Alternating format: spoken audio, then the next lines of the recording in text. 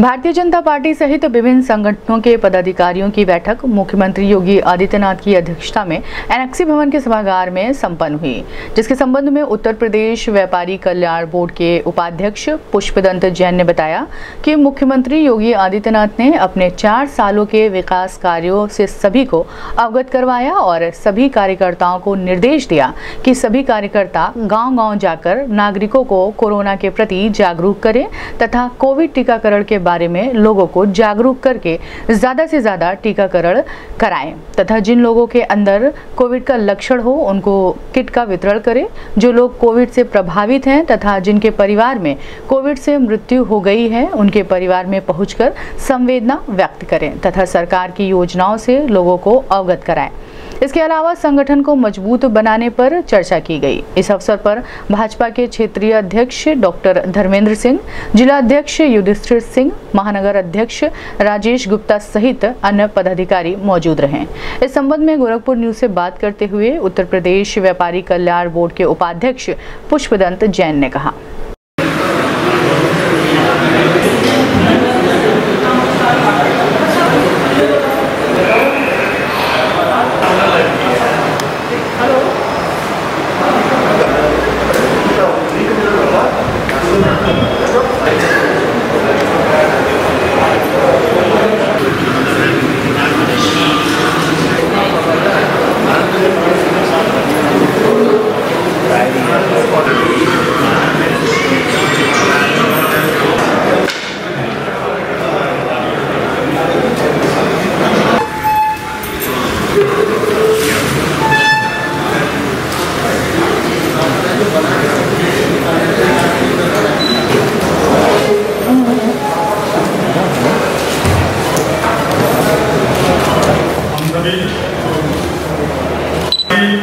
महानगर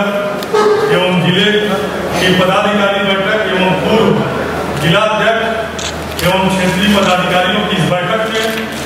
उपस्थित हम सबके प्रेरणा स्रोत गोरक्ष पीठाधीश्वर लोकप्रिय मुख्यमंत्री पूज्य योगी आदित्यनाथ जी महाराज का दिल की अनंत का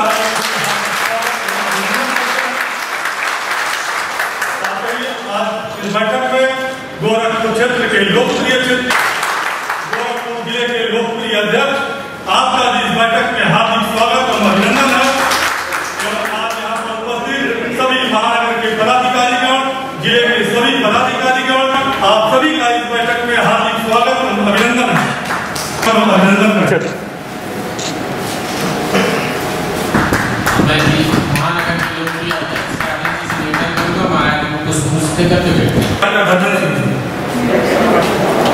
जिला और महानगर के सभी पदाधिकारी हम सबका मार्गदर्शन करने के लिए आज हम सब उत्तर प्रदेश के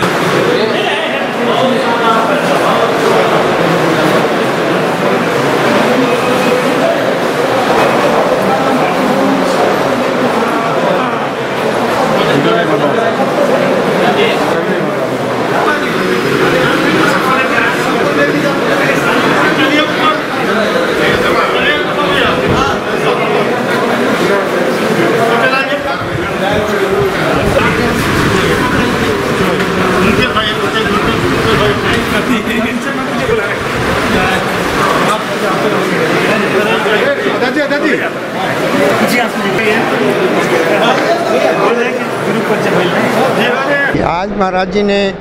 जो विकास कार्य हुए हैं चार साल में, उस पर उन्होंने प्रकाश डाला और संगठना संगठनात्मक जो है, एक ढांचा अच्छा हो,